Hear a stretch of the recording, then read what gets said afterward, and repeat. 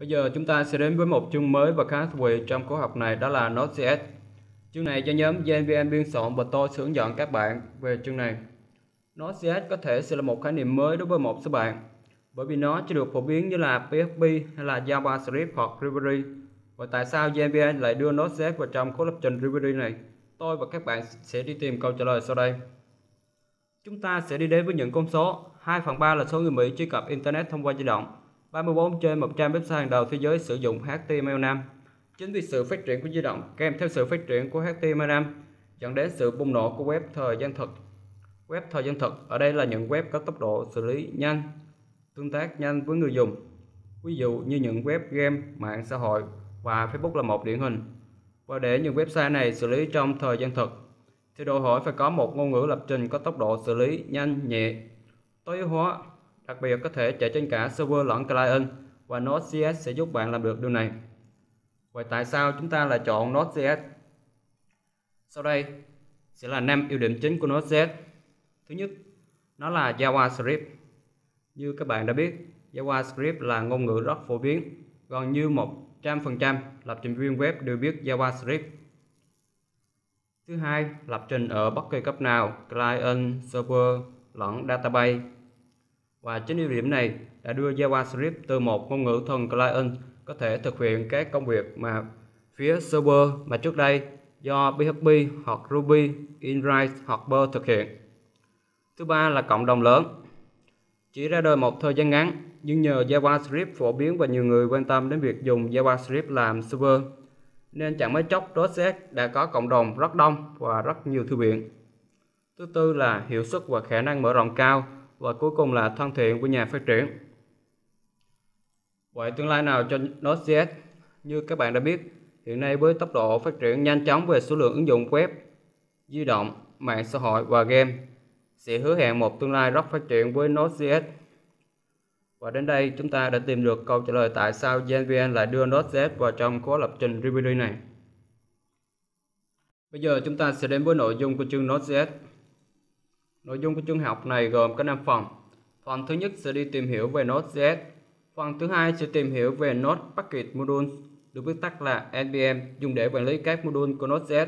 Phần thứ ba và phần thứ tư, chúng ta sẽ đi tìm hiểu hai package của Node.js, đó là Socket.io và MyOSQL. Hai package này sẽ giúp chúng ta xây dựng ứng dụng chat ở phần 5. Và sau đây tôi sẽ demo sơ qua ứng dụng chat. Những gì mà chúng ta sẽ làm được sau khi học xong chương này. Chúng ta có hai trình duyệt web đó là Chrome và Firefox. Ở hai trình duyệt này đã được truy cập vào địa chỉ của ứng dụng chat là localhost chat. Và đây là giao diện đăng nhập của ứng dụng khi chúng ta truy cập vào. Giao diện đăng nhập sẽ hiển thị danh sách các tài khoản được sử dụng để đăng nhập vào ứng dụng. Để thêm phần thú vị, tôi đã sử dụng danh sách các cầu thủ của Real Madrid với tên và avatar tương ứng. Để đăng nhập, Chúng ta chỉ cần click vào nút Use tương ứng với tài khoản chúng ta muốn đăng nhập. Trên trình duyệt Chrome, chúng ta sẽ đăng nhập với tài khoản của Iker Casillas. Và trên trình duyệt Firefox, chúng ta sẽ đăng nhập với tài khoản của Ronaldo. Và đây là giao diện sau khi chúng ta đăng nhập thành công. Giao diện này gồm có hai phần. Phần phía bên trái là chat room, dùng để nhiều người chat với nhau. Phần phía bên phải ở trên sẽ hiển thị tên mà tài khoản chúng ta đã đăng nhập. Và phía dưới là danh sách các bạn bè của tài khoản đó kèm theo trạng thái là có online hay không. Để gửi một tin nhắn trong chat room, chúng ta nhập vào đây và click vào nút send.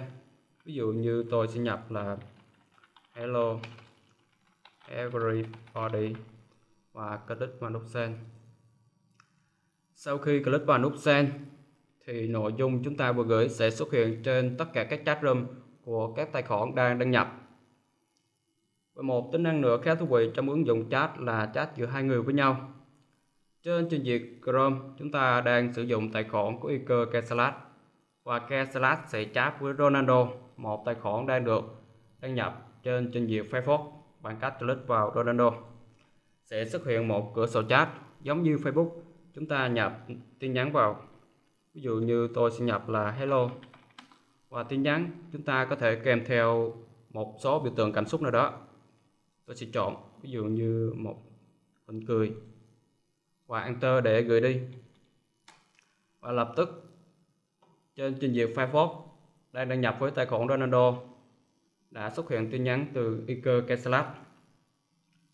Nút Logout ở đây giúp chúng ta thoát khỏi ứng dụng. Và chúng ta đã xem xong demo của ứng dụng. Và trong phần cuối, tôi sẽ hướng dẫn các bạn sử dụng ứng dụng này